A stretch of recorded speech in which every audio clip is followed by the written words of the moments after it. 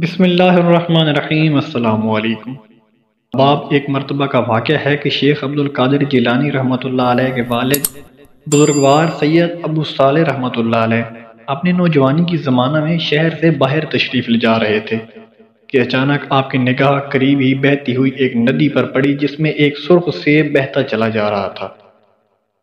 आपने उस सेब को उठा लिया और काट कर तनावल फरमा लिया। फिर अचानक आपको ख्याल आया कि न जाने ये सेब किस बाग से टूट कर नदी में बहकर आ गया था। और ये ना मालूम इसका मालिक कौन है।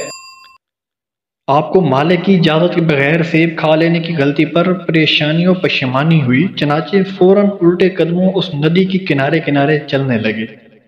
यहाँ तक कि कई मील चलने के बाद आपको एक बाग नज़र आया। बाग में पहुंचकर आपने मुलाहिजा फरमाया कि दरख्तों पर लगी सुर्ख सेबों की शाखें नदी पर झुकी हुई थी।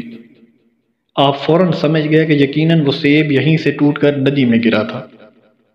चनाचे आपने बाग के मालिक से मुलाकात की, जो कि अपने ज़माने के बहुत बड़े बुज़ुर्ग थे, जिनका नाम मुबारक सैदना अब्दुल्ला समूई रहमत था।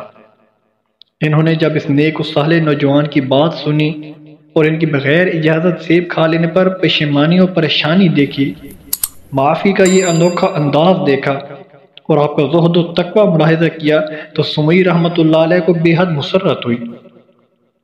और जब शजर नसब दरियाफ्त किया तो ये जानकर मजीद खुशी और इनबिसात महसूस किया कि आप तो हज़रत अली शेर खुदा रदी अल्लाह की औलाद मतहरा में से हैं।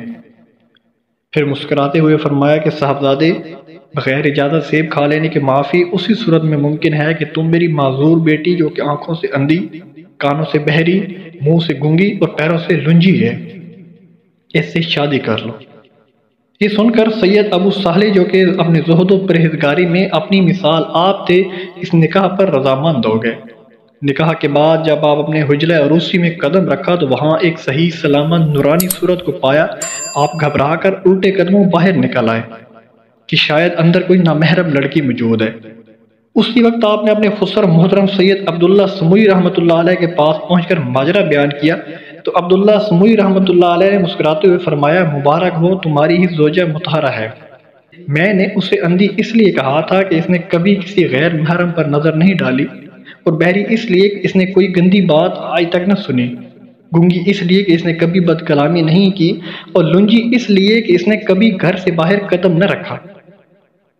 ये नेक फितरत, पाकिज़ा खसरत की मालिक, खातून शेख अब्दुल कादिर जिलानी की रहमत की वालद मोहतरमा सैद खैर फातमा थी। अहबाब ऐसे वालदेन को फिर अल्लाह तबारक व ने शेख अब्दुल कादिर जिलानी रहमत जैसे बेटे से नवाजा।